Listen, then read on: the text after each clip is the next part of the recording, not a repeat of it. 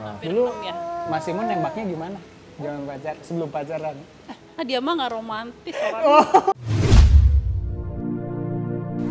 Halo Sobat Indosport, nah balik lagi sama saya Farhan dan pasti kalian udah ngeliat dong konten gue sebelumnya yang ngikutin eh, Mas Simon Santoso dari toko besinya keliling-keliling sampai main ke rumahnya beliau. So sekarang gue mau mengupas sisi lain dari Simon Santoso. Pokoknya sebelum ikutin konten ini lebih jauh jangan lupa untuk like, komen, dan juga subscribe YouTube channel Indosport. Nah sekarang di sebelah saya udah ada Mas Simon Santoso, udah ada Mbak Evelyn dan dua anak kecilnya. ada Lexi yang paling kecil dan juga ada siapa nih? Ada Leon yang paling gede. Halo Leon, hi itu kamera. Hai. Oke, halo eh, Mas Simon, Mbak Evelyn. Kita mau Halo. ngobrol-ngobrol Ya. santai aja nih sekarang nih. Oke. Eh, boleh tahu nggak dulu ketemunya gimana caranya sih kan Mas Simon sebagai eh, pebulu tangkis tentu sibuk dong. Nah bisa akhirnya ketemu sama Mbak Evelyn tuh gimana caranya? Ya dulu awalnya kan eh, saya dulu mau cari anjing ya. Oh cari anjing? Iya.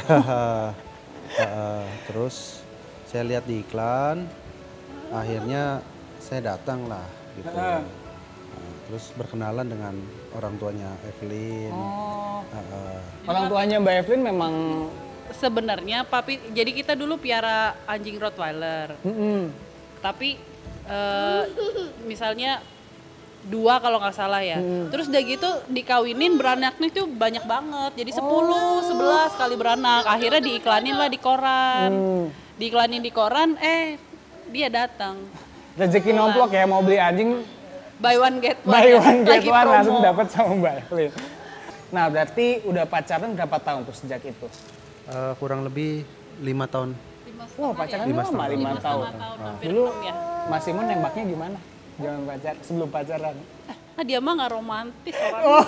Ah, dia mah nggak romantis orang. Enggak romantis. Wah, gitu aja gitu.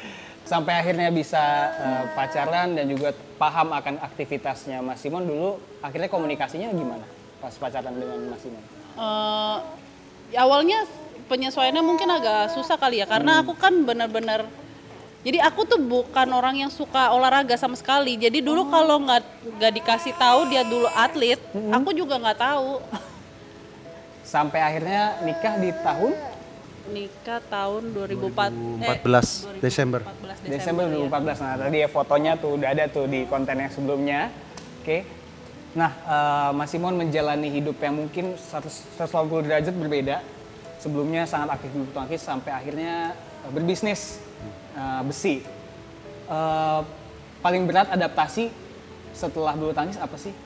Terutama setelah berkeluarga. gitu. Eh, yang pasti kalau dulu kan eh, ada rutinitas ya. Mm-mm. Jadi pagi bangun latihan dan ini udah udah teratur lah. Ketemu lapangan terus ya? Iya. heeh. Terus kalau sekarang itu kan eh, ya kita juga tetap mengatur Hmm. sendiri sih gitu. Dan terus kadang suka ketemu orang segala macem dan saya juga masih belajar lah untuk ketemu orang dan ya di hal bisnis seperti itu. Berarti aktivitas setelah berkeluarga dan punya anak ngapain aja nih, eh, Mas Simon? Aktivitas ya kadang Ya, ke eh, toko. Iya ke toko, terus juga kadang masih main badminton juga Masih main seminggu badminton. dua kali. Iya, ya meeting ketemu orang kadang gitu. Nah, eh, Mbak Evelyn melihat sosok seorang Mbak- Mas Simon Santoso nih kayak gimana sih? kayak gimana Sebagai ayah, iya. Sebagai ayah. Eh kalau aku bilang dia dia termasuk ayah siaga ya. Oh siaga, Iya. siap siaga. maksudnya eh, hands on mau mau bantuin anak. Kalau misalnya aku lagi repot apalagi kan anaknya dua terus aku Iya. kan ngurus sendiri gitu kan. Jadi kadang-kadang kerepotan dia mau turun tangan bantuin. Oke, terakhir. Eh, tiga kata dari Mbak Evelyn yang menggambarkan seorang Mas Simon Santoso apa? Waduh Waduh, tiga ini kata pertanyaan tersulit di mana-mana ini.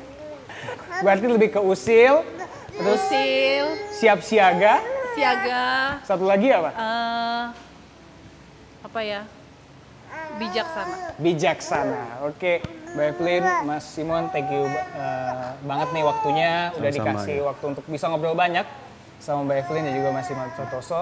Sobat-sobat Indosport yang mau tanya lebih jauh, lebih banyak soal Mas Simon, Mbak Evelyn, dan Blue Tax Indonesia bisa langsung tulis di comment section di bawah. Jangan lupa juga untuk like, komen, dan juga subscribe YouTube channel Indosport.